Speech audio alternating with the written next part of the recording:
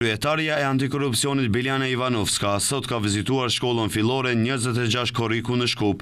Ivanovska njoftoi se fushata Bëhuni heronj të ndershmërisë ka mbërritur në shkollën e pestë nga gjithsej trembëdhjetë shkolla ku duhet të promovohet. Ajo tha se fushata do të vijojë edhe në tetë shkolla jashtë qytetit të Shkupit, me qëllim, siç thotë ajo, të luftohen padrejtësitë gjatë notimit të nxënësve. Sipas Biljana Ivanovskas, prindërit intervenojnë që fëmijët e tyre të kenë nota më të mira. Më së shpeshti, prindërit intervenojnë që të përmirësohen notat. Thonë se kanë presion nga prindërit që gjithmonë të jenë të shkëlqyeshëm, e kështu me radhë. Për këtë vlerësojmë se është shumë me rëndësi të dinë e të ndërtojnë vlera në vetvete, të mos mësojnë për nota, por për dituri dhe nga ta më pas të dalin profesionistët që ta ndërtojnë këtë shoqëri. Ndërkaq, drejtoreshja e shkollës fillore njëzet e gjashtë korriku, Besare Sejidi, sqaroi se me këtë fushatë kanë filluar që në muajin prill të këtij viti dhe e njëjta sipas drejtoreshës po jep rezultate.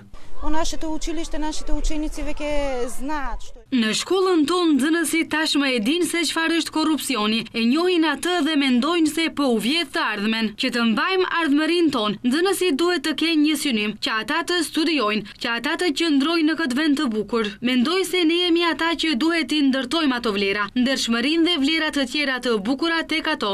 Përveç Shkupit, e para e Antikorrupsionit tha se kjo fushatë do të vazhdojë edhe në qytete tjera, ku do të jenë të përfshira edhe tetë shkolla tjera.